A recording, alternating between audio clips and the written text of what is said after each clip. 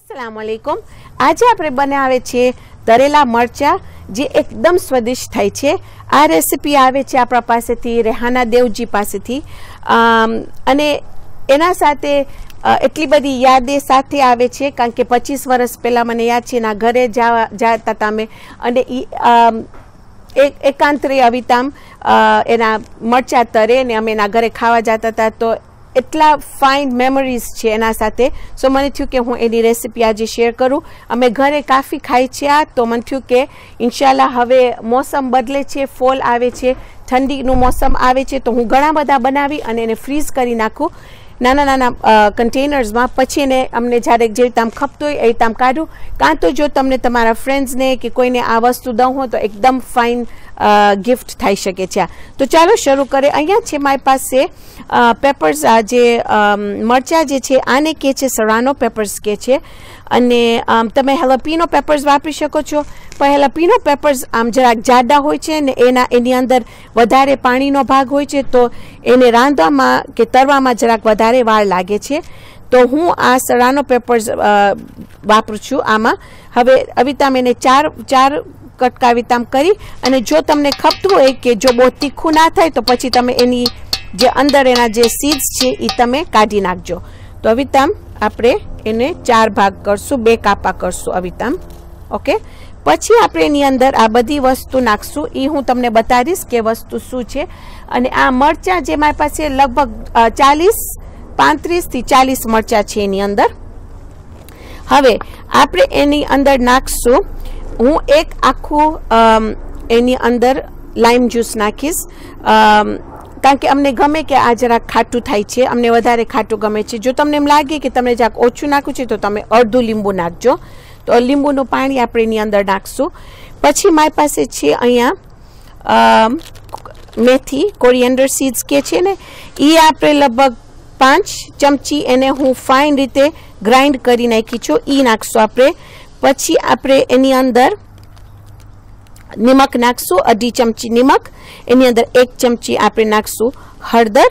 પછી અહીંયા છે મારી પાસે મેથી ને મને ખાલી બતાવ્યું હતું કે મેથી કેવી લાગે છે અહીંયા. એને ફેનુગ્રીક સીડ્સ કે છે. એમાં આપણે એક ચમચી નાખશું.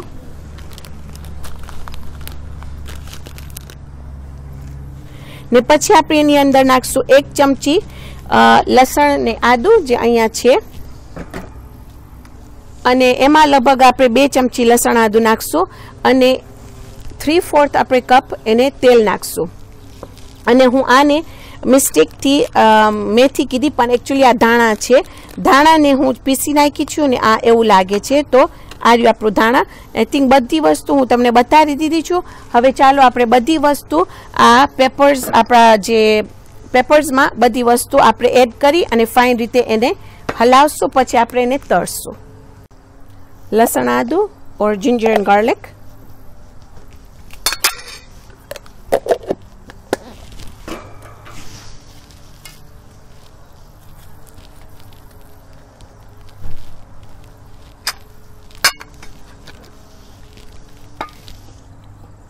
lime juice or lemon juice.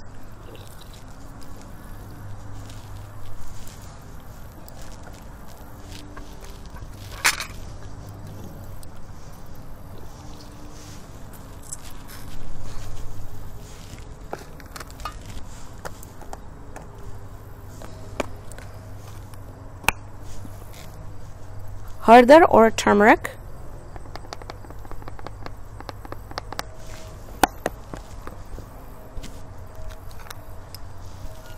dana or coriander seeds that is grounded. Rye or mustard seeds.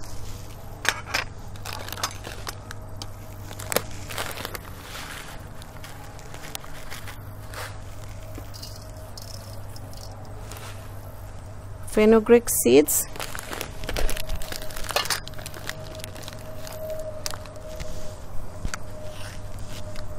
Salt or nimak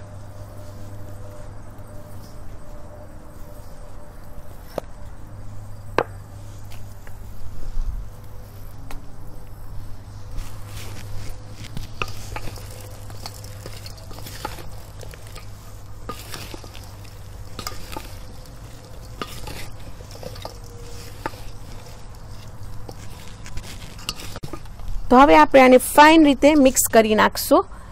અને જો તમને એમ લાગે કે તમારી પાસે ટાઈમ છે, તો તમે એને એક દિવસ પણ ફ્રીજમાં રાખી શકો છો, કાં તો ત્રણ ચાર કલાક રાખી શકો છો, કે આમ ફાઇન રીતે એનું મેરિનેશન પકડે. આજે મારી પાસે ટાઈમ નથી, તો હું બનાવી નાખીશ, કારણ કે હમણાં જલ્દી અંધારું થઈ જશે.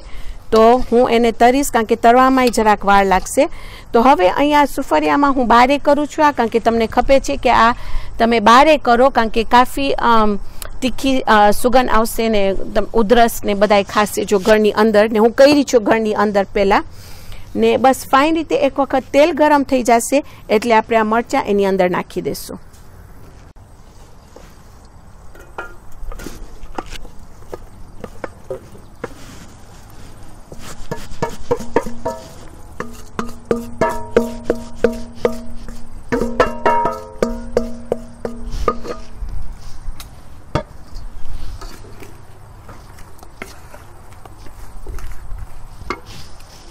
તો અહીંયા તમે જોશો કે આ મરચાં આપણા જરા પોચા થઈ ગયા છે અને આ મીડિયમ હાઈ ઉપર છે આપણું તાપ.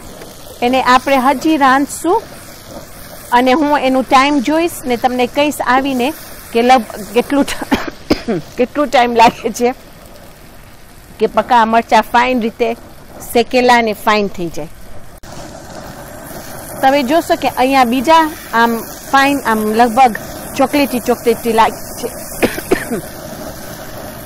એ થઈ ગયા છે પણ આપણે હજી ખોબર પકા સાવ ફાઇન રીતે સુકાઈ જાય તો આ લગભગ પચીસ મિનિટ થઈ છે બીજા પંદર મિનિટ પછી આવીને હું તમને બતાવીશ કે કેવું તો લગભગ આપણે ફોર્ટી ફાઈવ મિનિટ્સ લાગી છે આ કરવા માટે અને આ તમે મેક શ્યોર કરજો કે જ્યારે તમે બનાવો તો એને બહાર જ બનાવજો